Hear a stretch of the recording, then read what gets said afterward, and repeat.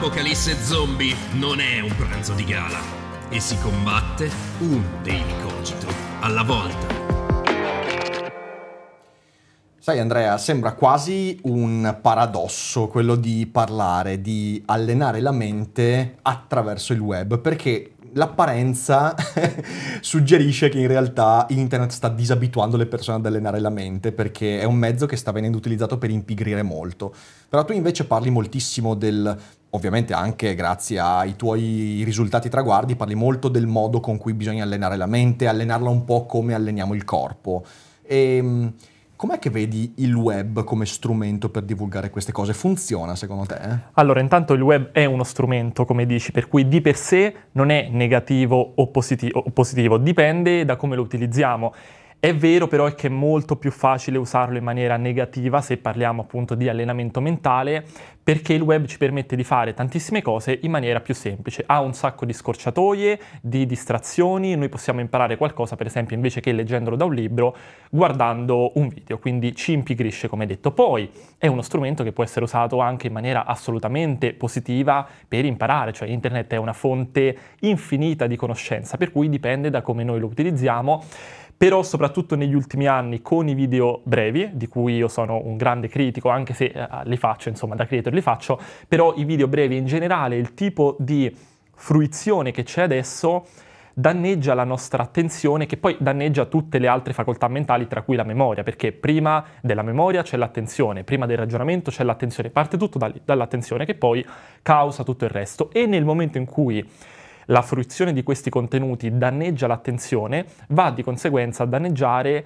il ragionamento a tutto tondo. E non è solo la lunghezza dei video, è anche per esempio la consapevolezza, cioè su YouTube io scelgo di vedere un video perché voglio vedere quel video.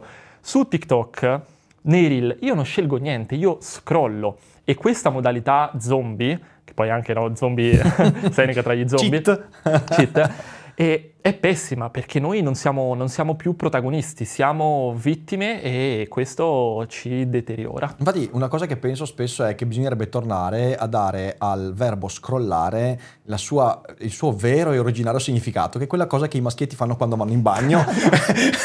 cioè, io vorrei tornare a scrollare così, però al netto di questa trivialità. Intanto grazie per essere venuto qua è in un piacere, studio. saluto eh, il pubblico. Ciao a tutti quelli che sono in live. Eh, siamo qui con Andrea Muzzi. Andrea, se qualcuno qui non dovesse conoscerti, come ti presenteresti? Allora, mi presenterei come campione di memoria e come content creator.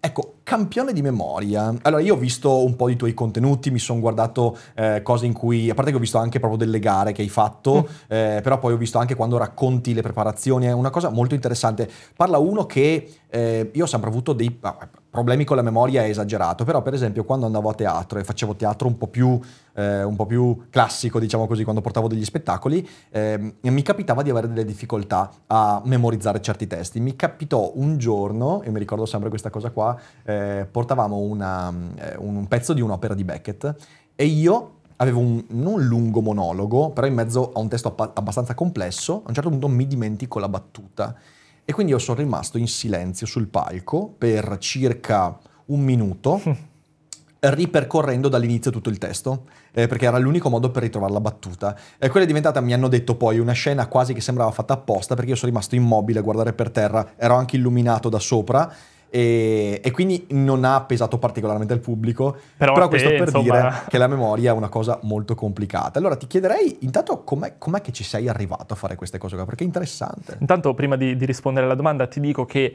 moltissime delle tecniche di memoria sono nate proprio per gli oratori, per chi doveva parlare senza gli appunti per anche ore. Per esempio Cicerone, no, che teneva i suoi discorsi, lo faceva senza appunti e lo faceva usando la tecnica che adesso è la regina delle tecniche di memoria, che è il palazzo della memoria, il cui nome originario era proprio tecnica dei loci ciceroniani. E così come lui anche tantissimi altri oratori che dovevano eh, tenere a mente de- de- delle storie, dei libri no, e tramandarli eh, ai successivi, dovevano appunto fare uso di, di, tecniche, di sì. tecniche di memoria. E tant'è che addirittura alcuni termini come in primo luogo in prima istanza derivano proprio dalla tecnica palazzo della memoria, dove i primi argomenti venivano posizionati nel primo locus, in primo luogo, nella prima stanza, in prima istanza, per cui eh, ha anche radici molto profonde nella nostra, nella nostra civiltà. Adesso rispondiamo alla domanda che era appunto come ho iniziato, giusto? Sì, sì, esatto, esatto. ok. Te la ricordi? No, No. senso, basta. No, giuro che non farò troppe battute su questa, scusatemi, però io, cioè, quando si entra in queste cose qua. Eh beh, è giusto, è giusto. Allora, io ho iniziato per due motivi. Intanto non ho iniziato da piccolo, come uno si può immaginare, uno che arriva a fare il campione di memoria, come può essere il campione di scacchi, pensi ha iniziato a 6 anni. Io ho iniziato a 17 anni, anzi ho iniziato poi a gareggiare a 19, quindi grandicello, adesso ne ho, ne ho 24. Io ho iniziato eh, proprio alla fine del liceo, verso la la- il quarto, il quinto, proprio perché volevo studiare più velocemente, eh, per la maturità, per l'università futura. In più avevo una passione che era quella del cubo di Rubik, facevo gare di cubo di Rubik e mi stavo specializzando nella disciplina da bendato, che ovviamente richiede una grande memoria, perché Certo. tu memorizzi il cubo bendato, ti metti la benda e lo risolvi. Unendo queste due cose ho detto quasi quasi conviene investire nell'imparare, cioè nel migliorare la mia memoria. Allora semplicemente ho cercato tecniche di memoria su Google e da autodidatta ho imparato con i libri, con YouTube, con fonti quasi esclusivamente in- inglesi perché di italiano c'era, poco, poi mi sono io impegnato nel, nel crearne tante e quindi questi sono stati i motivi. Non conoscevo ovviamente eh, neanche l'esistenza delle gare di memoria, l'ho scoperta poi successivamente. L'ho scoperta, mi sono spaventato quando ho visto quello che le persone facevano, cioè memorizzavano decine di mazzi di carte, ehm, centinaia di cifre in pochi minuti, de- delle cose assurde. E detto, mi, mi ha spaventato proprio, mi ricordo la, la sensazione precisa, ricordo anche proprio quali erano i video che ho visto e ho detto, madonna, chissà che c'hanno questi nel cervello. E poi poco dopo ci sono arrivato io proprio gradualmente e mi piace raccontare questa storia, la racconto spesso proprio perché dimostra che io non, non ci sono nato. A me poi è, è piaciuto un sacco, cioè miglioravo in fretta, mi piaceva, sono diventato ossessionato dalla, dalla cosa, ho iniziato a gareggiare e da lì poi eh, ho continuato e ho iniziato a partecipare alle gare, a vincerle, così. Eh, Questo è un punto interessante perché in fin dei conti eh, quando si entra in contatto con persone che usano la mente in un modo molto specifico abbiamo un po' quella distorsione de- de- della genialità intesa però in senso deteriore, cioè io guardo quella persona un po' come un freak, un fenomeno savant, baraccone, no? esatto, e lo guardo perché mi appassiona, però poi non penso di poterlo fare anch'io. E invece da questo punto di vista eh, ci sono tante tecniche che ti permettono di allenare, magari non so, non tutti arrivano a diventare campioni di memoria, a, a che livello peraltro? E io ho vinto i mondiali, ho vinto tre volte gli europei e sono primo nel ranking mondiale. Porca miseria, pensa te, com- complimenti. Grazie, grazie. E, però dicevo, uno può allenarsi per arrivare comunque a un livello, anche perché viviamo, a me sembra, e ci sono anche degli studi che mostrano, in un'epoca dove la memoria è una delle facoltà della nostra intelligenza eh, più rese obsolete dall'uso della tecnologia. Quindi eh, cosa, cosa- cioè, cosa potresti dire a una persona che dice, ah beh, Andrea Muzzi è là, inarrivabile, e io chi cazzo sono? Allora, ri- rispondo con ordine a tutte, a tutte le domande. Innanzitutto, ovviamente c'è una componente di talento, ma per quanto riguarda l'aspetto competitivo. Mm. Cioè, se io mi alleno alla stessa quantità di ore, con lo stesso impegno rispetto ad un'altra persona, per le gare di memoria, magari io arrivo a memorizzare il mazzo in 15 secondi, qualcun altro in 20, perché diciamo il talento, se vogliamo chiamarlo così, funge da velocizzatore per il miglioramento, ma per l'aspetto agonistico, per l'aspetto agonistico. Per usare le tecniche nello studio, nella vita di tutti i giorni, per semplificare quel processo di incamerare no, le, le informazioni, lì non serve alcun tipo di talento, ma perché lì non serve la velocità. Cioè il, il- talento nelle gare di memoria è la velocità, la velocità estrema di elaborare. Io quando memorizzo un mazzo in 15 secondi, eh, 52 carte sono 104 informazioni, più o meno assimilo 7 informazioni al secondo all'incirca, sono tantissime, serve tanta velocità e lì c'è il talento delle gare.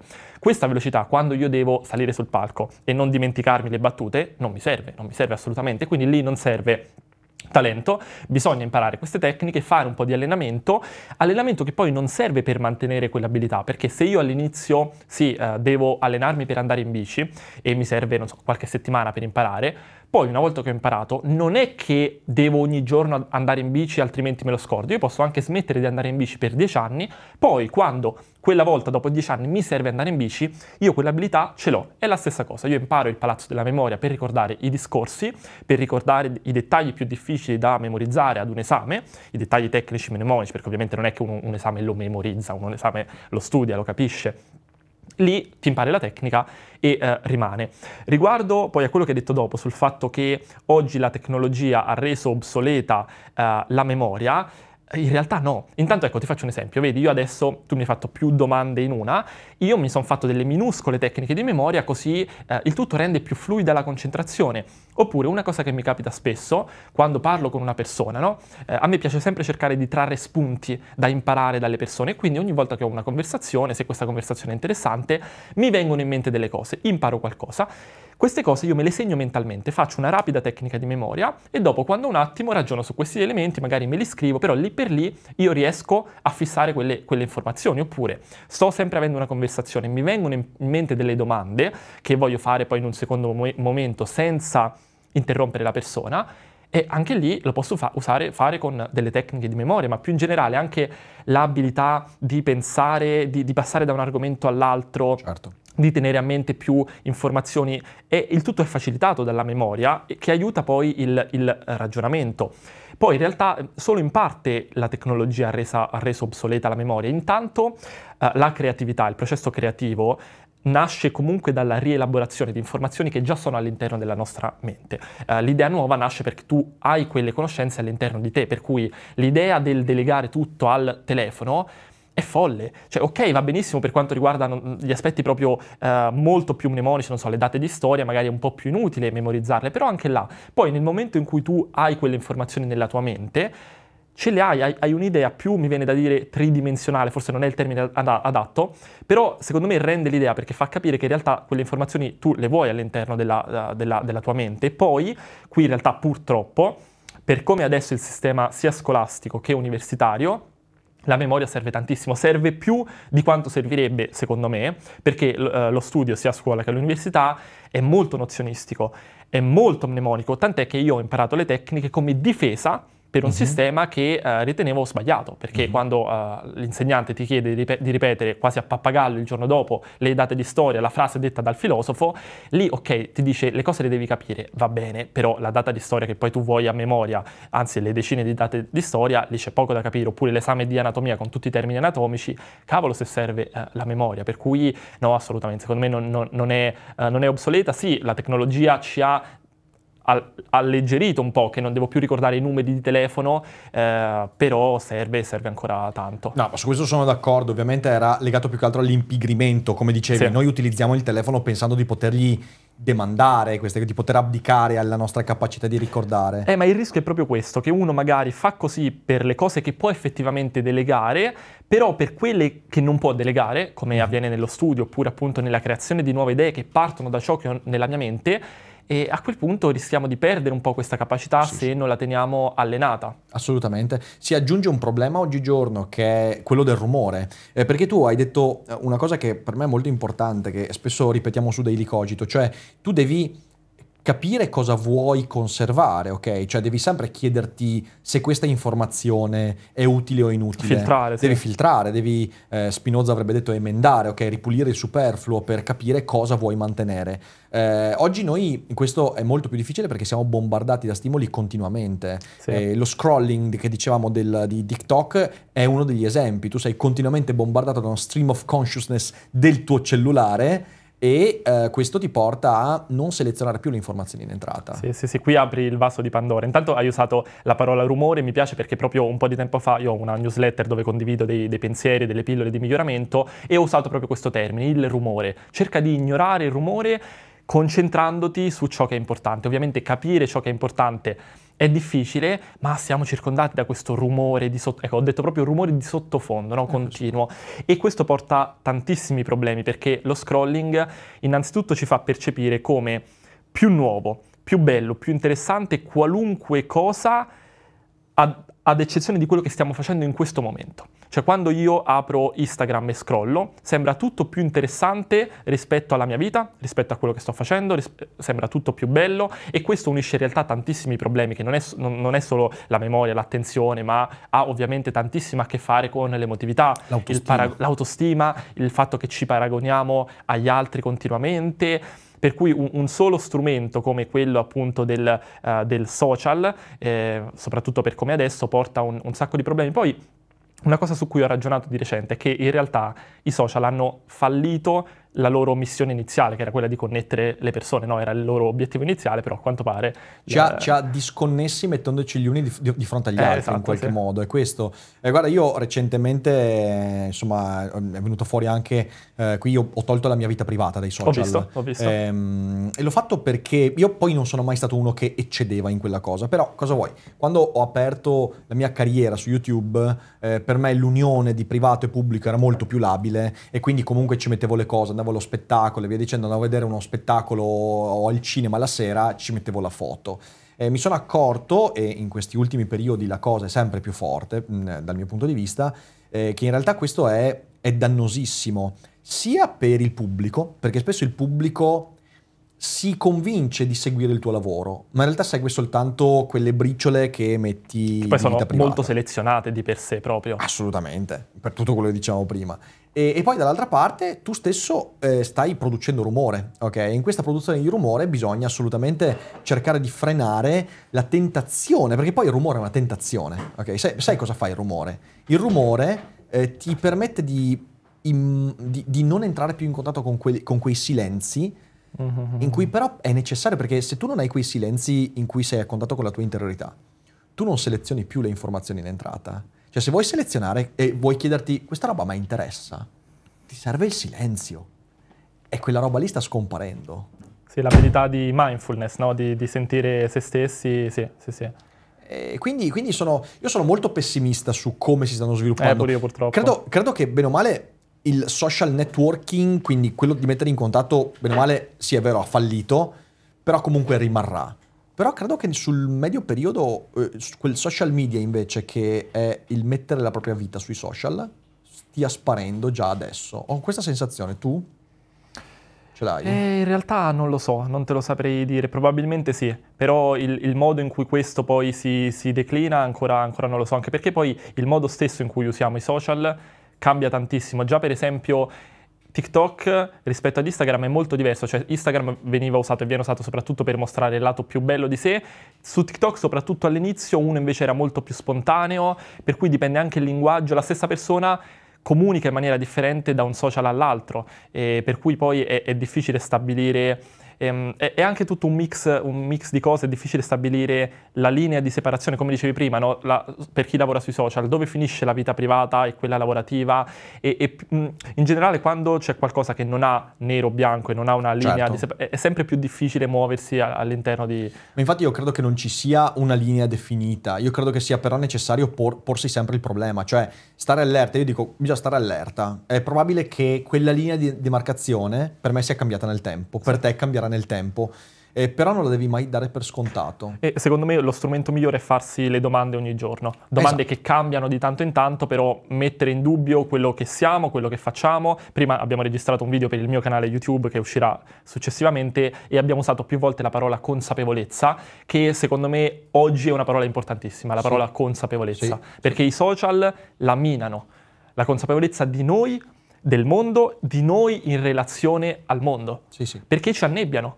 Eh, di nuovo, come prima, io, eh, l'abbiamo già usata prima, no? quando io ho detto lo scrolling leva la consapevolezza perché non decidi cosa guardare. È la stessa cosa. E quindi non ti poni più quelle domande. Allora la, la domanda più difficile che ti faccio adesso è quali sono le domande che ti fai quotidianamente tu per nutrire quella consapevolezza lì? Allora, è tosta, sì.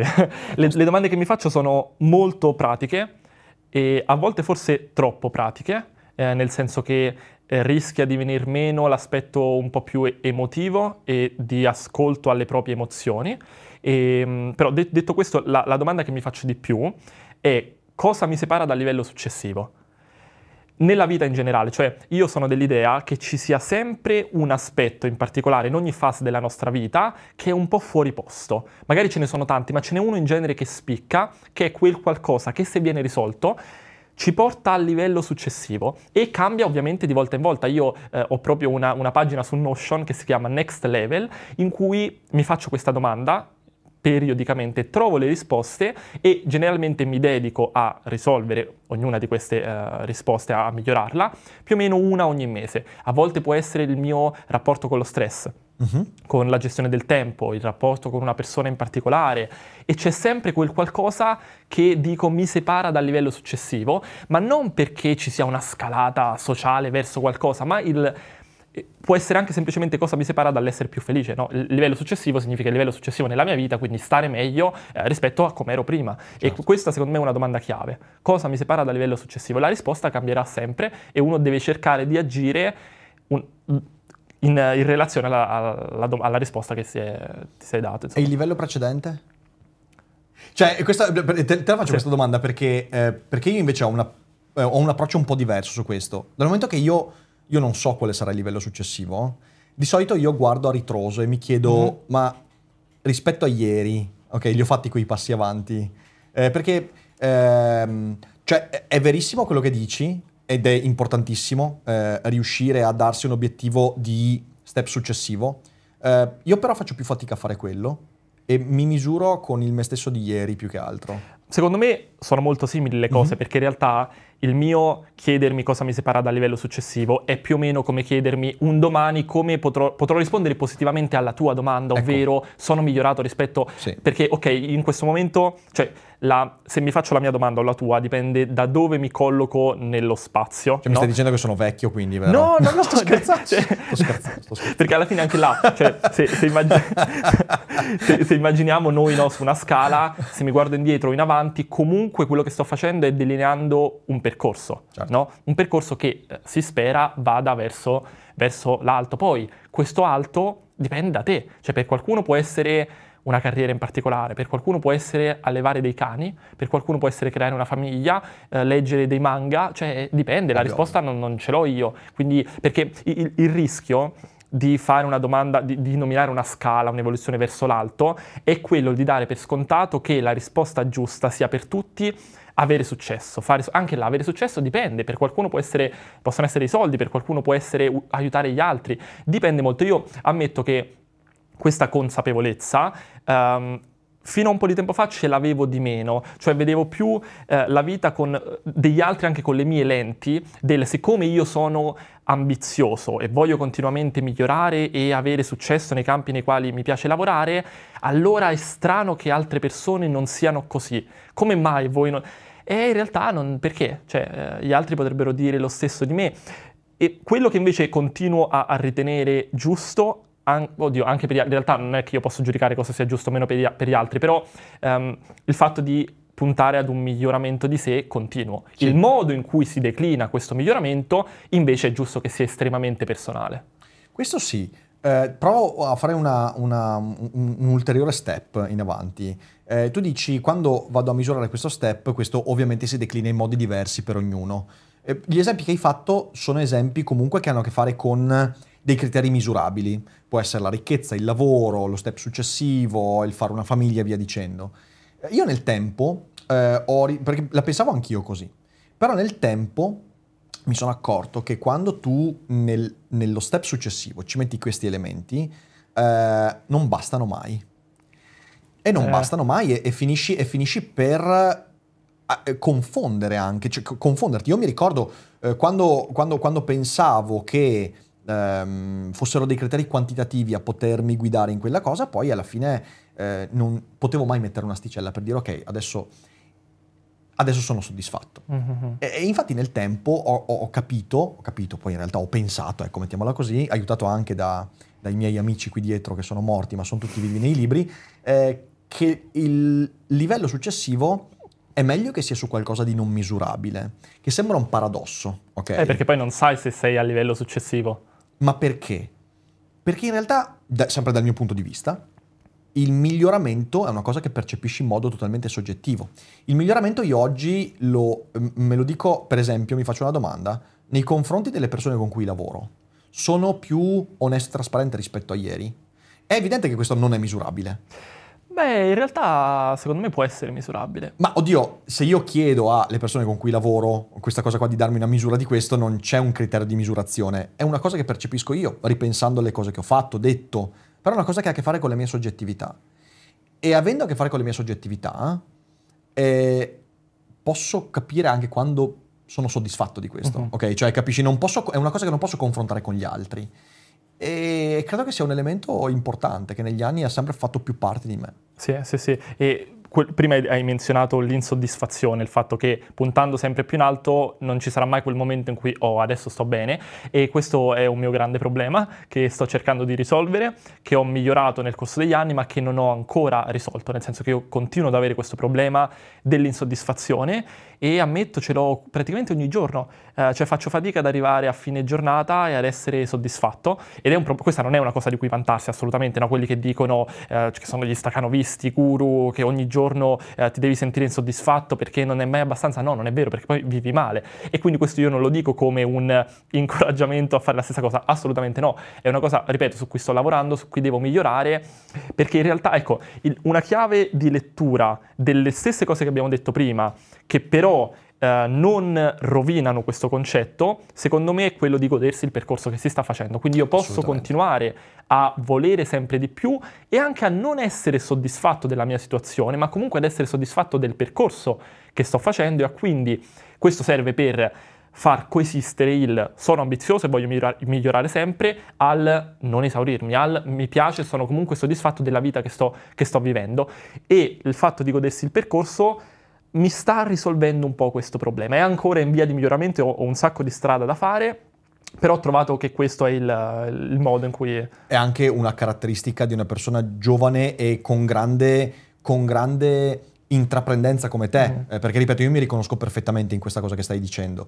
Eh, io in un altro ambito, però alla tua età ero molto attivo, per esempio, con l'associazionismo, eh, studiavo all'università e quindi facevo un sacco di cose la sensazione di non essere soddisfatto. Anche quando avevo fatto cose belle, uh-huh. eh, per cui tutti mi davano pacchi sulla spalla, era, era, grande, era profonda. Ed è per questo che a un certo punto ho detto il criterio qualitati- quantitativo eh, è fondamentale, però n- non è la cosa che dà significato poi quando arrivo alla fine della giornata, non è quello che mi fa dire ok, non è quello. Eh, è proprio una percezione, è una percezione molto intima eh, legata poi a, a... Com'è che potrei dire? C'è, c'è un filosofo che, che è Bergson. Eh, Bergson, che ti interesserebbe molto perché lui parla moltissimo di mente. Ovviamente è di inizio Novecento, quindi dal punto di vista delle neurobiologie sicuramente è molto arretrato, però fa dei ragionamenti interessantissimi. Lui ha scritto questo, questo testo che si intitola eh, eh, il, il, il saggio sui dati immediati della coscienza in cui lui dice ogni volta che noi facciamo un'esperienza del mondo, la nostra mente vive due esperienze diverse. Una è l'esperienza mediata da quella che chiama coscienza, ovvero è l'esperienza che io riesco a parcellizzare. L'esempio è, sono in riva al mare eh, con la mia fidanzata, eh, io riesco, grazie a questa se- secondaria percezione mediata mm. dalla coscienza, a pensare singolarmente al profumo della salsedine, ai fulmini all'orizzonte, alla presenza della mia fidanzata, alla sensazione della sabbia sotto i piedi. Tutte queste cose sono singole rappresentazioni della mia mente. Però prima di questa c'è una percezione immediata che è quella non ancora filtrata dalla coscienza, che è quella in cui io sono un tutt'uno con quell'istante della mia esistenza. E io sono il prodotto dello stratificarsi di queste esperienze immediate, su cui poi interviene la mente razionale che separa eh, tutto quanto. Quella parte immediata non è misurabile, perché gli elementi che la compongono non sono elementi separati, non sono eh, misurabili. Io sono moltissimo quella parte, ok? E i criteri quantitativi in qualche modo non riescono a rappresentarsi quella parte. Perciò a un certo punto bisogna scoprire il fatto che devi misurarti con quell'interiorità che puoi conoscere solo tu. Però io ecco un modo per, non che sia necessario, ma un modo per renderla quantitativa, Sì. questa, questa cosa, riesco a vederlo, ovvero eh, tutto ciò alla fine può essere sempre espresso con il grado di felicità e di soddisfazione, Mm. che è diverso da quello di, di piacere, ne abbiamo discusso Mhm. prima quando abbiamo registrato il, il mio video. E, mm, io posso anche essere felice senza eh, rincorrere i piaceri, quindi è, è il metro di paragone secondo me migliore per la qualità della vita, no? Mm. Eppure là uno può dire alla fine di ogni giornata quanto sono stato felice della giornata da 1 a 10. E ovviamente il modo in cui raggiungi quel 7, quel 9, dipende da un insieme infinito di cose, però secondo me comunque una certa quantità, non, non che ci debba essere, però perlomeno per il modo in cui io ragiono, che è molto analitico, riesco a vederla in, in- in questo modo. Invece su quello che dicevi prima, appunto, della, della spiaggia e tutto quanto, alla fine si declina in vivere il presente, no? È quello perché tu mi stavi descrivendo proprio delle sensazioni eh, che di per sé sono possibili solo nel momento in cui uno vive il, il presente. Uno è presente proprio a se Esatto, stesso. sì, altro sì, sì, elemento che devo migliorare, che cerco da tanti anni di migliorare. sì. Sei la- molto proiettato Sì. tu. Sì, sì, sì. Però ecco, l'ho dovuto fare anche per le gare di memoria, perché le gare di memoria richiedono una concentrazione assurda, secondo me uno dei livelli di concentrazione più alti che ci possano essere, perché non ti puoi distrarre un attimo, ogni attimo in cui ti distrai sono secondi persi per la gara, cioè quando memorizzi un mazzo in 15 secondi sei estremamente presente in quello che stai facendo, quindi io ho migliorato la mia capacità di essere presente e concentrato tantissimo grazie alle gare di memoria. Poi replicare lo stesso livello di immersione e di presente in altri contesti è più difficile, ma è così. Più, più in generale tutti questi discorsi che noi stiamo facendo sul miglioramento, sulla consapevolezza di sé, e perché uno si potrebbe chiedere ma che c'entra, tu sei un campione di memoria, io li, li- li faccio, mi piace farli e ho incentrato gran parte dei miei contenuti online su questo, proprio perché questo questo modo di vedere le cose mi viene dalle gare di memoria, no? Questo, ehm, co- questa continua analisi di sé, che è quello che un atleta che sia fisico o mentale deve fare continuamente. L'atleta punta sempre al livello successivo, Certo. si deve chiedere qual è l'aspetto da migliorare e lo deve fare in maniera estremamente onesta e spietata, perché poi se hai un allenatore te lo fa lui. Se tu non ce l'hai come ho fatto io, cioè i miei rivali asiatici eh, avevano le accademie con gli allenatori, io ero da solo, io dovevo batterli da solo, senza l'allenatore, il team. Per cui la domanda del cosa devo migliorare, su cosa devo lavorare, me la dovevo fare da solo, dovevo dare una risposta, dovevo farmi un piano pratico di allenamento per migliorare quell'aspetto e tutto questo nel, nel corso degli anni mi ha insegnato tantissimo riguardo al modo di vedere noi stessi, gli altri, il modo di migliorare, di accettare le sfide, di lavorare sul fallimento, per cui il motivo per cui poi a me piace parlare di, di tutto ciò è proprio questo, perché sono riflessioni che vengono dalla mia esperienza sportiva, perché di fatto il mondo delle gare di memoria è un mondo agonistico e anzi rispetto al mondo fisico, dell'agonismo fisico, ha un- una difficoltà in più che è proprio quella che devi gestire anche la tua mente, cioè se in- io ho fatto anche pugilato e anche lì ho fatto degli incontri a livello agonistico, gestire le emozioni all'incontro di pugilato era più facile rispetto a gestirle, per quanto c'è anche là una certa paura, ehm, è più facile rispetto a gestirle alla gara di memoria, perché l'adrenalina alla gara di pugilato mi aiuta, alle gare di memoria no, io devo stare calmissimo, cioè io devo raggiungere un livello di concentrazione da monaco. Quasi a tarassia. Esatto, proprio. quando sai che adesso in quei 15 secondi tu rischi di giocarti il titolo mondiale, eh, quella roba è una, una cosa da monaci. Assolutamente, assolutamente. E sai, hai usato una parola, adesso io ti dico che quella parola che hai usato descrive molto bene quello che io vedo in te. Quella parola è spietatezza. tu mi dai la percezione di essere una persona spietata nei tuoi confronti. E la domanda che ti faccio è una domanda fastidiosa.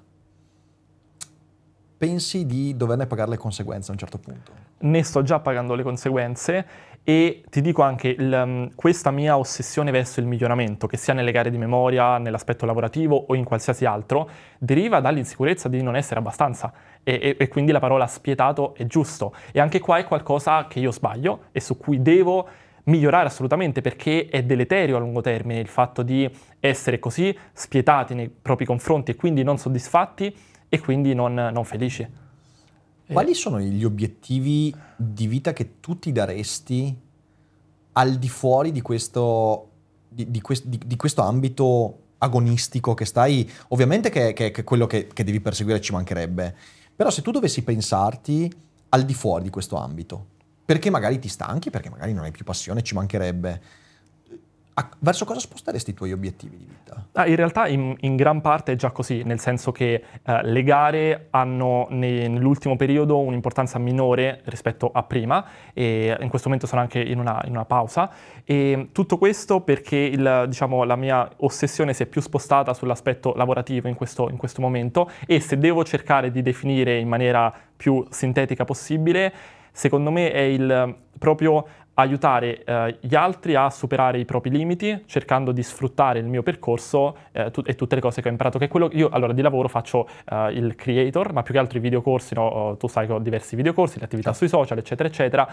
Per cui eh, questo è il modo in cui io eh, vivo il mio presente e vedo il, il mio futuro, quindi sfruttare le cose che io ho imparato, sia molto tecniche, che può essere appunto la capacità di memorizzare, la capacità di concentrarsi, ma più in generale di migliorare noi stessi nell'ambito mentale soprattutto, no? di, di focalizzazione, e sfruttare tutto questo per aiutare gli altri a fare lo stesso. E, ed, è, ed è- mi piace un sacco, è quello che, che faccio adesso e, e che mi piace molto. Ah, lo fai molto bene anche perché il tuo canale YouTube a me piace Grazie. molto, quindi insomma, eh, ovviamente in tutto questo miglioramento, in tutto questo automiglioramento, sapete che ci sono anche altri strumenti che possono permetterci di migliorare, per esempio migliorare nella capacità di esprimerci in lingue diverse. E quindi do il benvenuto allo sponsor di questa puntata, Cambly. Now, say my name. Cioè, tu mi stai dicendo che ancora guardi le serie TV sottotitolate o doppiate? Do what? I've got no clue who the hell you are. Sapevi che esiste una piattaforma perfetta per chi vuole imparare l'inglese come si deve usando PC o smartphone? Una piattaforma che ti mette in contatto con centinaia di insegnanti madrelingua per migliorare il tuo inglese in qualsiasi campo. That's right. Now, say my name.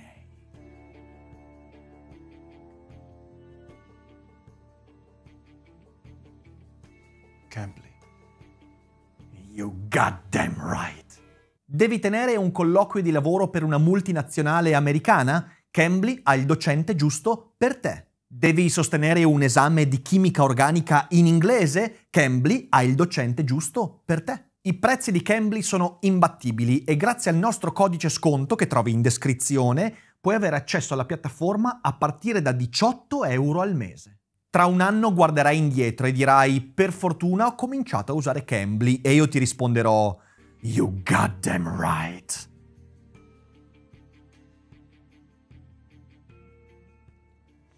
Sai, io ho abbandonato l'agonismo molto tempo fa perché io giocavo a pallacanestro. Ero molto agonistico, mi piaceva tantissimo, sono stato sempre una persona molto competitiva, però poi il mio ginocchio mi ha detto mi dispiace, la tua carriera finisce qua e quindi da quel momento io ho trasportato il mio agonismo in cose molto più triviali. Sono un appassionato di giochi da tavolo, con i nostri amici facciamo spesso serate e via dicendo. Mi sono accorto che quando il mio agonismo è stato poi applicato a una cosa minore, eh, mi si è aperto un mondo che prima rimaneva relegato nell'ombra, che era soprattutto il mondo delle relazioni, ok?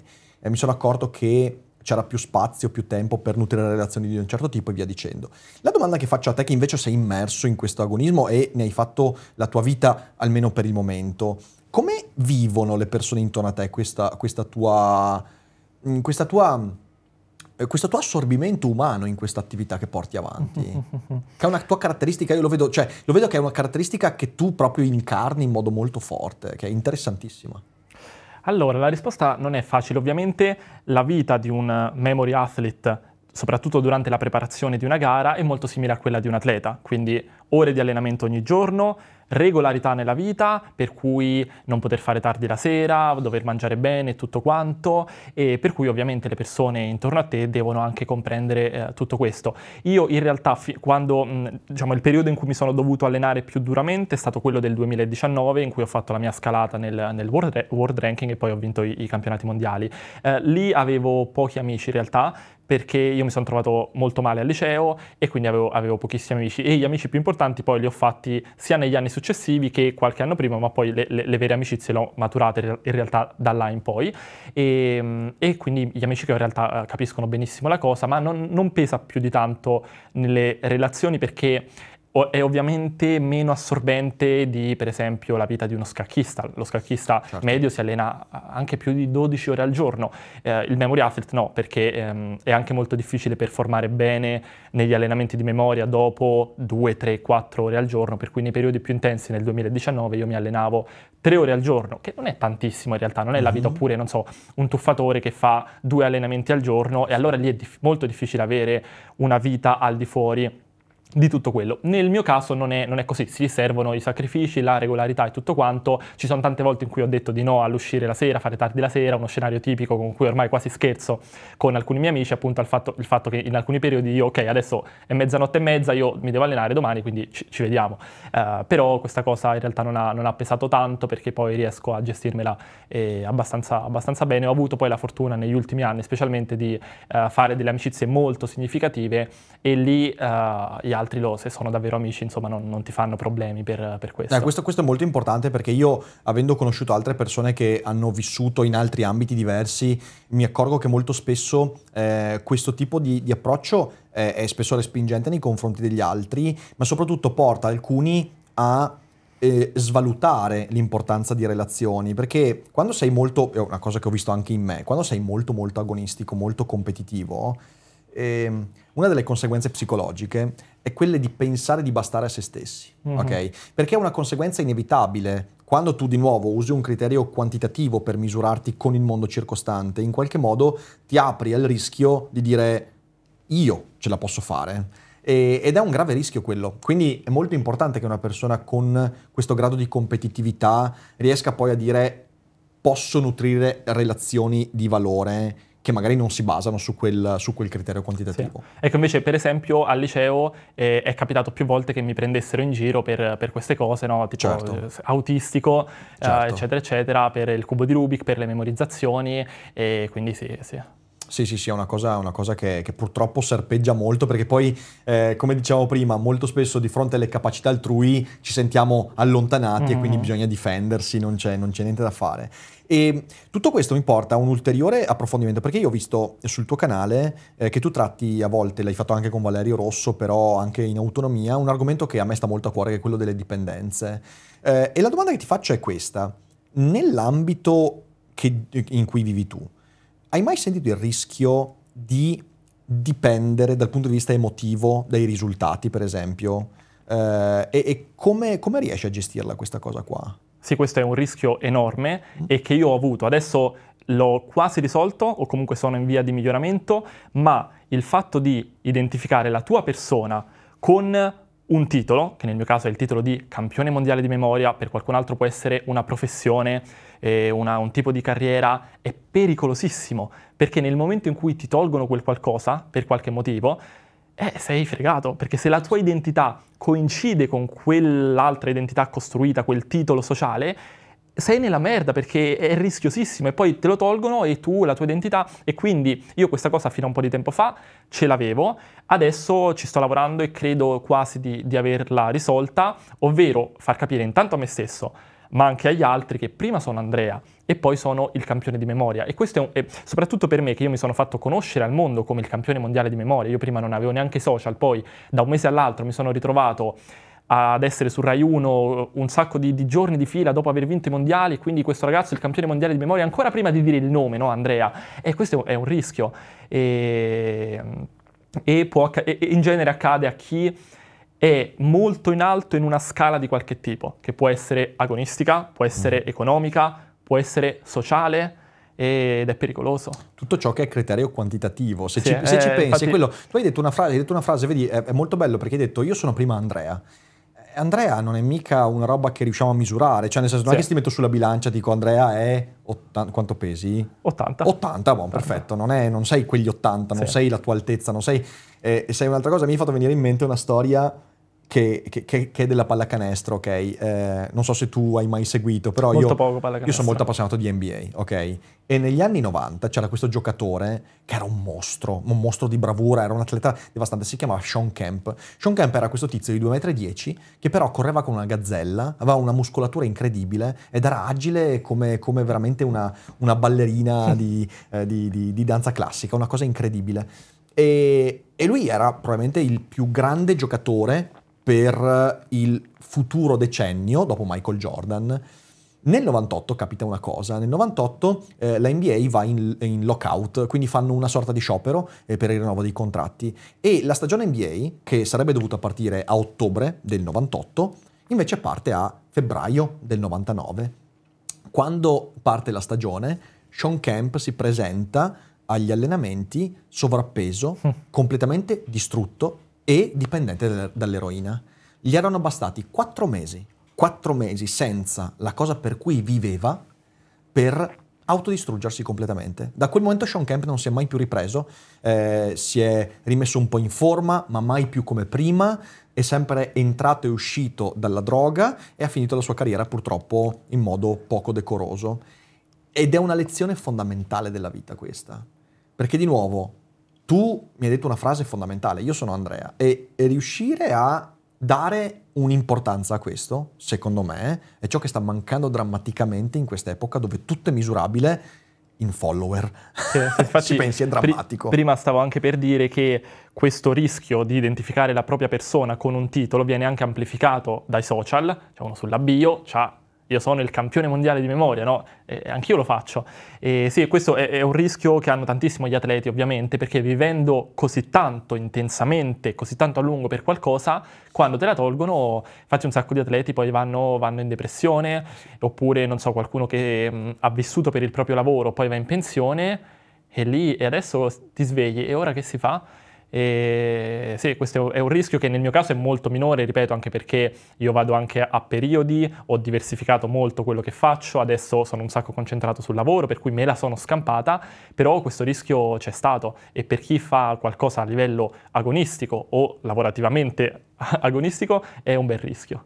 E, e, che, e, che, tu, eh, cioè è comprensibile perché lo fai come lavoro, cioè anch'io nella mia bio di Instagram ho autista di tram sui denti, ok? Perché è divertente, perché è una cosa... Eh, però almeno io lo faccio come lavoro. Però pensa a tutte quelle persone che invece sui social non, non ne traggono un lavoro, non, non ne fanno un mestiere e comunque vivono per il numero di persone che guardano le loro stories, il numero di mi piace che beccano sulle foto e vivono nel tentativo di proiettare un'immagine che moltiplica quel numerino che però poi non ha veramente nessun significato. E lì secondo me c'è eh, secondo alcuni questo è la causa di alcuni problemi, ma secondo me è un effetto. Non so se tu sei d'accordo, ma io credo che noi viviamo un'epoca in cui per tanti motivi, e credo che sia un motivo soprattutto della relazione sbagliata che abbiamo con la tecnologia, in cui noi non crediamo più veramente nel fatto che quello che siamo abbia un certo valore. Mm. Io questo l'ho visto in un argomento che voglio sottoporti eh, per, per discutere, perché insomma tu parli anche di queste cose qua, che è l'intelligenza artificiale. Okay? Io appena è venuto fuori ChatGPT mi sono preoccupato perché ho visto un sacco di persone che senza informarsi, senza usarlo, senza capire che cosa fosse, già dicevano ci sostituisce. L'arte di Lenza è come l'arte di Picasso o Van Gogh. E in questo io ho visto una cosa che in realtà vedevo da tempo, ma lì l'ho vista massificata, cioè l'idea che in fin dei conti noi non pensiamo più che quello che proviene da noi come creatività, come capacità, come talenti, come identità, abbia un valore, perché tutto ha valore su quello che gli altri vedono. Mm. E quindi l'intelligenza artificiale, che tu la vedi produrre un'immagine. Beh, vedi il risultato finale, non chi l'hai prodotta esatto. sull'arte. Certo, noi, abbiamo perso, noi abbiamo perso il valore di quel ah. processo e di quel percorso di cui parlavi prima.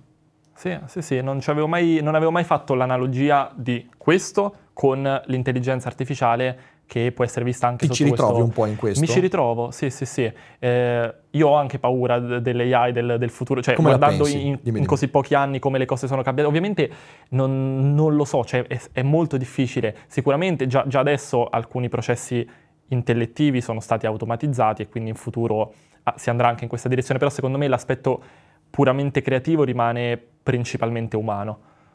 E, sì. Eh però bisogna, bisogna, farlo capire alle persone, perché lì invece c'è un sacco di gente che sembra non aspettare altro che dire, visto, visto che noi non siamo così niente di speciale. Perché poi c'è questa cosa qua che io trovo sempre, sempre quasi comica, però anche tragica, ok? La storia della conoscenza umana, anche della scienza degli ultimi secoli, è una storia di detronizzazione dell'essere umano, ok? Siamo passati dall'essere al centro del cosmo all'essere su un pianeta come tanti altri, e poi eravamo al centro della creazione e poi invece siamo una Sempre creatura meno importante, sempre sì. meno importante, ok? Che è giusto perché abbiamo dovuto ridimensionarci Eh. molto, pensavamo di essere molto più fighi di quello che siamo. Però questo porta alla conseguenza, eh, ne parla Nietzsche quando, quando discute il concetto di morte di Dio, ok? Porta alla conseguenza che tante persone questa svalutazione non l'hanno acquisita come un adesso sono più responsabile di quello che sono, perché non c'è più un Dio che mi dà senso, devo dare io senso. L'hanno presa come un adesso vale tutto, eh, adesso vale tutto, vale, vale- non, non Non, vale più- niente, tutto non vale niente. e cioè. tutto non vale niente, capito? E questo secondo me è una traccia molto forte della nostra epoca. E questo Sì. lo si vede in tutte le cose che abbiamo toccato. È vero, è vero, non saprei neanche come, come risponderti perché sono ragionamenti che necessitano un sacco di, di tempo eh, per essere fatti. Anche questo io non, non- non ci avevo mai riflettuto a sufficienza sul fatto che delle- degli effetti che noi stiamo vedendo adesso nel modo in cui le persone si comportano e nel modo in cui pensano deriva anche da questo processo di deimpo- come si dice, riduzione dell'importanza Sì, del... s- s- no, sminuimento è brutto perché non è vero, di- di- diciamo, diciamo ridimensionamento, ecco, è un ridimensionamento, eh, Sì, sì, che, sì. che è giusto Sì, che ridimensionarsi. Anche lì, come ogni cosa, ha i suoi pro e i suoi contro. Sì, sì, assolutamente, assolutamente. Senti qua, ma mh, il tuo progetto adesso del canale YouTube, se tu lo vedi svilupparsi nei prossimi anni, cioè cos'è che ti piacerebbe veramente? Se tu avessi la massima libertà di fare quello che ti pare su YouTube, cos'è che vorresti fare? Allora, la massima libertà in assoluto, senza- è, è difficile dire la massima li- libertà limitandoci a YouTube, perché a me piace vedere più YouTube come un mezzo. È un mezzo per eh, parlare alle persone, per condividere le proprie idee, per insegnare qualcosa alle persone, per ispirarle. A me piace tantissimo fare due cose, insegnare e ispirare. E io ho avuto la fortuna di trovarmi in questo percorso delle gare di memoria che mi ha permesso di fare queste due cose. Insegnare eh, o banalmente le tecniche di memoria o eh, ciò che è derivato dal mio percorso, no? tutti questi ragionamenti che abbiamo fatto insieme e poi ispirare no? tramite quello che io ho fatto, un percorso di miglioramento che mi ha portato a eh, fare delle cose che eh, ritenevo impossibili. Per cui eliminando un po' YouTube dall'equazione vorrei fare queste cose ad un livello sempre più alto e eh, un domani che abbia a che fare sempre di più con eh, l'istruzione, specialmente in ambito scolastico, perché ho un'idea molto molto critica della scuola. Ne ho parlato varie volte, in particolare su un video che ho fatto sui social che ho chiamato La scuola rovina le menti e ho i gravi problemi della scuola italiana, cambio titolo di tanto in tanto. E, mm, e io, gran parte anche di questo mio percorso deriva dalle insoddisfazioni che io avevo al liceo, insoddisfazioni sia personali, quindi insicurezze, sia insoddisfazioni di quello che vivevo in ambito scolastico. Io a scuola mi sono trovato molto male e questo mi ha spinto a cercare interesse all'esterno della scuola, perché a- all'interno non ne avevo per niente, mi trovavo male eh, con eh, i compagni, con i professori, con le materie che venivano insegnate, con il modo in cui le materie venivano insegnate. E da lì anche ho iniziato a imparare le tecniche di memoria, o meglio, eh, quando ho scoperto le tecniche di memoria, l'aver capito che mondo c'era dietro all'apprendimento, non solo, me- poi la memoria è solo una parte dell'apprendimento, ma eh, come funziona la nostra capacità di apprendere. Quando ho scoperto tutto questo e poi ho visto la scuola e ho detto, ma le due cose non c'entrano niente, lì mi si è aperto un mondo, ma mi sono arrabbiato ancora di più e quindi eh, io vorrei sempre di più eh, andare in questa, in questa direzione. Un domani mi piacerebbe creare una, una scuola vera e propria. Quindi vorresti una proprio diventare ministro dell'istruzione e riformare da Eh, zero la scuola. Questo, eh, sai cos'è che mh, è anche difficile capire quanto l'impatto che tu puoi avere ehm, possa essere a livello istituzionale o per i fatti tuoi. Certo, certo. Perché farlo, eh, cioè per tutta la burocrazia che c'è, i bastoni No, tra le farlo ruote, dall'esterno è- farlo dalle- dall'esterno. Sì, sì, sì. Cioè io già adesso riesco, a, rispetto magari a provare a fare un progetto con una scuola pubblica, eh, un progetto istituzionale, cioè riesco ad avere molto più impatto e risultato facendo la stessa cosa con dei video su YouTube. Assolutamente. E, e quindi io la vedo più sotto questo punto di vista. Poi magari un giorno invece sarà diverso perché per, per come- per quanto velocemente evolvono le cose e anche il nostro modo, cioè i- i- mh, magari tu hai una certa- un certo obiettivo, o meglio un risultato finale, però il modo in cui lo raggiungi può cambiare tantissimo, per cui questa domanda in realtà non, non- non riesco da- a dare una risposta a questa domanda, ti so dire quali sono i miei obiettivi, che sono appunto questi qua, no? Eh, insegnare, ispirare, lavorare sulla scuola che non, che non funziona, il modo in cui tutto questo si risolve eh, bisogna, bisogna vedere. Sicuramente più mi impegno in quello che sto facendo adesso con la divulgazione, con i corsi, più eh, sarà facile un domani eh, raggiungere questi, questi, obiettivi, però chi, chi, lo sa se sarà in maniera istituzionale con la scuola oppure creando io una, una mia scuola eh, esterna, ma comunque scuola, non lo so, non lo so, però da un po' ho, ho, sto vedendo questo come il, il mio futuro, quello di, di, di creare una scuola. Di, non so ancora dirti che tipo. No, cioè, certo, certo, certo. So, bene, però so benissimo, e questo è chiarissimo sin dall'inizio, quali sono i principi di tutto questo. Certo, quali sono? Sì. E sono quelli che seguono il, il, il nostro modo di, uh, di, apprendere, di vivere, cioè un, una scuola molto più partecipe, cioè in cui i ragazzi sono, sono, più attivi, più partecipi, più interessati, in cui uno esce dalla scuola non che odia lo studio, come avviene in genere, ma che lo ama. Mm-hmm, assolutamente. Senti qua, mi hai detto gli obiettivi. Sì. E le paure quali sono? Di cos'è che ha paura Andrea Muzzi? Allora, pure questa è bella domanda. E le mie paure più grandi sono intanto essere banale e vivere una vita che non si allinea ai miei valori e ai miei obiettivi, quindi non riuscire a raggiungere queste cose che abbiamo visto, non riuscire a, a, a lavorarci e il terzo che in realtà è, è, connesso a questo, non avere la libertà di esprimersi, cioè di mh, mm, no, non aver modo di dare sfogo a questi desideri che uno, che uno ha. Cioè io voglio appunto uh, insegnare, voglio ispirare, poi magari un domani cambieranno, magari cambierò completamente via, non lo so, però ho paura che un domani le circostanze mi possano impedire di vivere seguendo questi obiettivi che ho. Certo, certo. Sì, quindi vi- vivere una vita che non è quella, quella, che vorrei, in cui mi sento realizzato. Ecco, eh, adesso vedi, d- dando le risposte mi viene in mente una, una cosa più definita. Ho, ho, tanta paura di o eh, ritrovarmi senza una missione, un, un, obiettivo, o avercelo ma non aver modo di, di raggiungerlo. Di questo ho molta paura.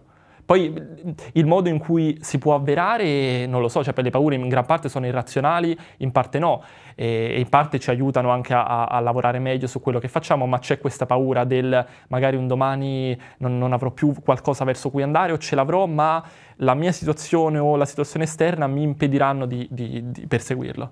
Sai che ti, ti, do una notizia adesso, do, la, la, notizia che avrebbe, avrei voluto avere io a 23 anni. Ci sarà il momento in cui ti troverai senza, senza direzione. Eh, Ci sarà un momento sì. in cui, e non è che te lo sto augurando, è che capita inevitabilmente, dirai, e mo che cazzo faccio? Mm-hmm. e quello è un momento, è un momento, quello è, tosto, eh, sì. quello, quello è un momento, è un momento di passaggio importante, è un momento di passaggio. E tu e, quando l'hai avuto? Io l'ho avuto, l'ho avuto beh, più di una volta in realtà, però quello grande grande l'ho avuto proprio fra il lavoro precedente e questo qua. Io ho avuto un anno e mezzo in cui non avevo la più pallida idea di che cazzo fare della mia vita, in cui ero senza soldi, senza prospettive, senza qualcosa che mi permettesse di dire adesso vado in quella direzione. Ed è durato quel periodo, è durato drammaticamente per direi 8-9 mesi. Eh, eh, tanto, tanto. Eh, però capita. Sì. Però non farei quello che sto facendo adesso se non ci fosse stato quel mm. Quindi, non so, io la, la, lezione che ho imparato io ormai, cosa vuoi, avendo comunque eh, un, un'età, eh, avendo qualche anno di esperienza, mi sento anche di trarre qualche insegnamento dalla mia esperienza. E quello che ho tratto è che qualunque sia l'obiettivo che hai adesso, esattamente come quelli che ho adesso, inevitabilmente cambieranno, perché sì. in quel momento in cui ti troverai a dover rivedere le cose, scoprirai qualcosa di te che prima ti era invisibile, è inevitabile, inevitabile. Uh-huh. È un bel percorso però, un bel percorso. Non bisogna averne troppa paura, è un bel percorso. Eh, però è tosto, sì.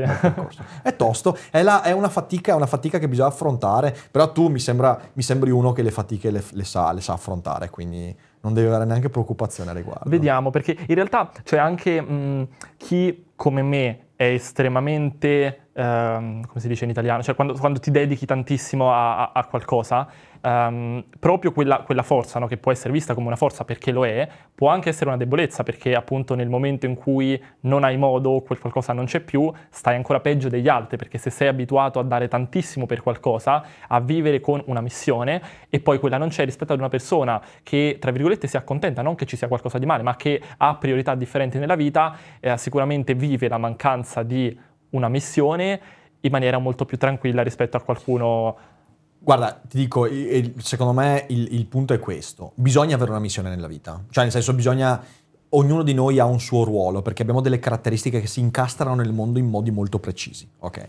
Eh, bisogna rendersi conto di due cose, secondo me. Il primo è che questi incastri cambiano nel tempo e quindi eh, una persona che anche a 40 anni dica ok, io sono questo e sarò così fino alla fine, rischia di essere già finita, ok? In realtà no, quella cosa cambierà.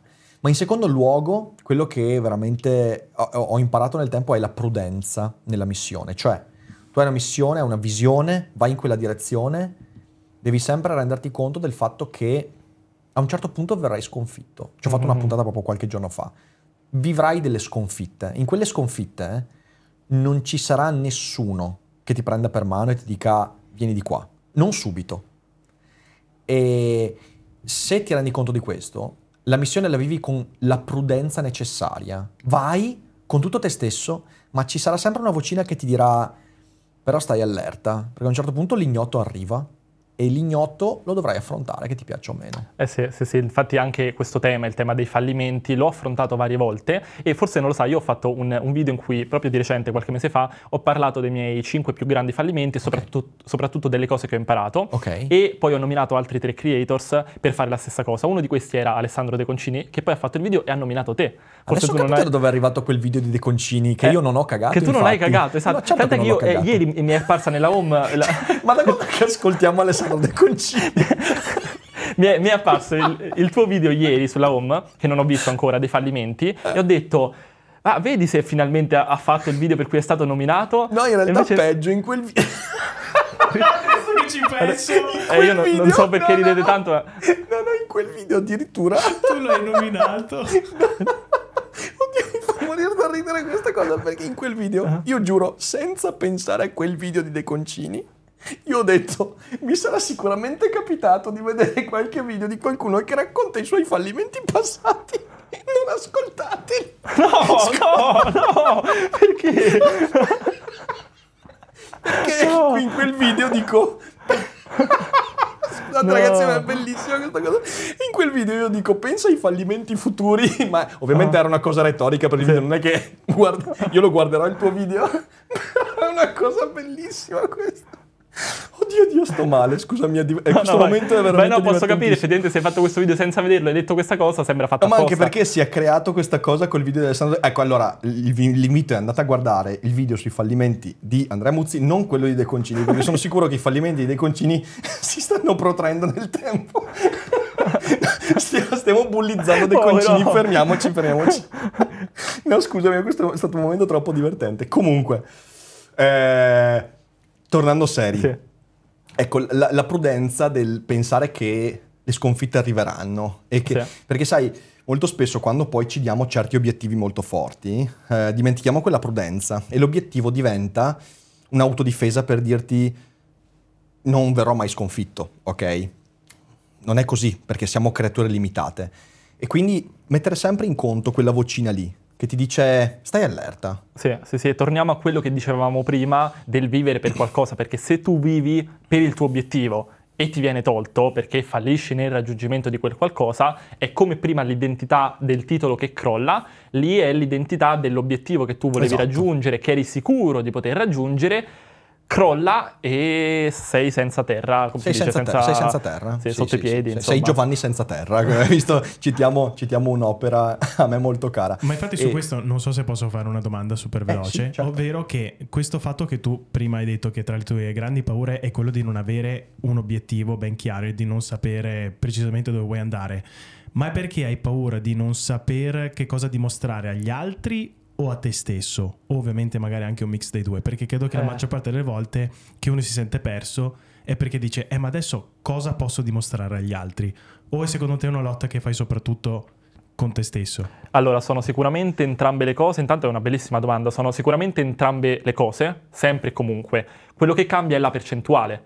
Quindi la percentuale, ok, io faccio questa cosa all'80% per me, il 20% per gli, altri. Ovviamente non è possibile stabilire queste percentuali, però ci proviamo, se non altro, a livello, a livello teorico. Sicuramente fino a qualche anno fa c'era tantissimo l'aspetto anche del dimostrare agli altri, derivato dalle mie insicurezze. Man mano nel corso degli anni va più verso di me, ma anche qua in realtà... ehm, dimostrare agli altri può essere anche in maniera positiva. Torniamo al discorso dell'ispirare qualcuno, quindi lo faccio anche perché mi piace ispirare gli altri, insegnargli qualcosa, condividere qualcosa, però l'elemento di dover dimostrare agli altri qualcosa era molto presente all'inizio della mia carriera nel mondo delle gare. C'era tantissimo anche di me, ma tantissimo anche degli altri. Questo deriva in gran parte anche dalle insoddisfazioni e dalle insicurezze che io ho avuto al liceo, Certo. durante il quale mi è stato più volte detto sia dai professori che dai compagni che io non valevo, che non ero intelligente ehm, e quindi mentre io sapevo che ero in grado di poter fare qualcosa di grande e quindi poi uscito dal liceo e avendo intravisto la possibilità di diciamo, sbattere in faccia questo risultato tramite le gare di memoria, questo ha amplificato la mia, la mia ossessione perché era, era un mezzo, non solo al di là del, del fatto che mi piaceva un sacco, quindi a livello proprio tecnico, era un modo per dimostrare agli altri e a me che valevo. Difficile Certo. dire in che percentuale, però sicuramente in nel momento in cui uno affronta un percorso di questo tipo, orientato soprattutto al dimostrare agli altri, anche questo è un rischio. Ma infatti io se, quando riguardo indietro, le cose che io ho fatto e non mi piacciono sono cose che io ho fatto per dimostrare qualcosa a qualcuno. Eh, vedi, sì. È sempre così. E oggi sono molto allerta su questo perché eh, a me piace pensare alla maturazione come a un momento in cui tu ti rendi conto del fatto che la felicità sta nell'offrirsi, ok? Cioè io oggi offro i miei argomenti, studio, faccio quello che faccio, ma non è che voglio farmi grosso agli occhi degli altri, non è che voglio fare... Mi sento di avere qualcosa da offrire e questo vale tanto per il lavoro che facciamo su YouTube quanto nelle relazioni. Eh, se tu, quando tu ti rendi conto che la relazione, quella vera, si basa sul fatto che in quella relazione dai più importanza a quello che tu offri rispetto a quello che ricevi, sei meno dipendente da quella relazione. C'è una pagina bellissima, l'ho citata, scusatemi, se avete sentito la eh, cogitata con eh, Stefano Rossi la risentirete, però è troppo bella. C'è una citazione molto bella di Viktor Frankl, autore dello psicologo nei lager, autore meraviglioso, in cui lui a un certo punto parla di quando era ad Auschwitz e, e lui dice io sto pensando a mia moglie, che non vedo da quattro anni, non so se è viva, non so se è morta, però provo felicità nel sapere che io la amo. Io non so se lei mi ama, perché lei magari non c'è più, magari lei si è dimenticata, magari chissà cosa è successo, ma non è che io traggo felicità dal sapere che lei mi ama, io traggo felicità dal fatto che io so di amarla, io ho l'idea di lei e io offro quello che ho dentro e questa offerta è ciò che dà significato alla mia vita, dice Frankl. E questo si può traslare a tutto. E quando ti rendi conto di questo, allora lì sei meno schiavo delle quantità. Però devi essere estremamente maturo per poter fare una cosa Devi del aver fatto genere. delle esperienze. sì. Credo devi, do- de- devi aver fatto del- devi aver passato delle sconfitte. Quelle sconfitte lì, che temiamo tanto, sono quelle che poi ti fanno dire, ok, magari adesso la direzione la do in modo diversa. Ehm, Ed è, ed è una maturazione che, bene o male, è a disposizione di tutti. Bisogna saper cogliere i messaggi che le sconfitte ti danno. Sì. Ultima cosetta, prima di passare Ok. alle domande della gente. Una domanda canonica che si fa sempre agli ospiti. Tre libri che per te sono stati molto, molto importanti nella tua formazione. Ok, allora il cigno nero, ne parlavamo prima off Perfetto. camera, poi Pensieri lenti e veloci del Kahneman. premio Nobel, sì, e per farci capire quanto siamo stupidi e irrazionali. E, e, e, e non so se suggerire un libro sulle tecniche di memoria oppure, oppure no. Tu non sei un lettore di romanzi, mi sa. No. Narrativa non ti piace. No, non- anni non fa segui. sì, però preferisco, preferisco Ok. i saggi. Eh, sono in difficoltà sul terzo. Ma sì, dai, l'arte di ricordare tutto, perché per, ehm, non è un libro che ti spiega le tecniche di memoria, ma ti spiega il mondo che c'è dietro, le basi Figo. e ti fa appassionare a questo mondo. Figo, L'autore? figo. Per cui l'autore è Joshua Foer. Questo me lo leggerò perché non lo Sì, conosco. è Bello, proprio il, bello. best seller più venduto in assoluto nel mondo delle gare di memoria. Molto bene, molto bene. Andrea, eh, è stato fighissimo chiacchierare. Anche per me è stato un super Ti piacere. ringrazio per essere stato qua e spero che sia la prima di una lunga serie di cogitate, magari. Volentieri. E nei prossimi giorni uscirà anche, insomma, se volete, sul canale di Andrea una piccola chiacchierata che abbiamo fatto sullo stoicismo. Troverete del- dei punti di assonanza, ma non così tanto. Quindi, insomma, è un video che vi consiglio di vedere. E se siete in live, non uscite perché adesso leggiamo qualche domanda. Per chi è in differita, il link in descrizione per il canale di Andrea, andate iscrivetevi, conoscete il suo lavoro perché ne vale la pena. Ringraziandoti di nuovo, Io Grazie. vi saluto e ci vediamo alla prossima. A presto.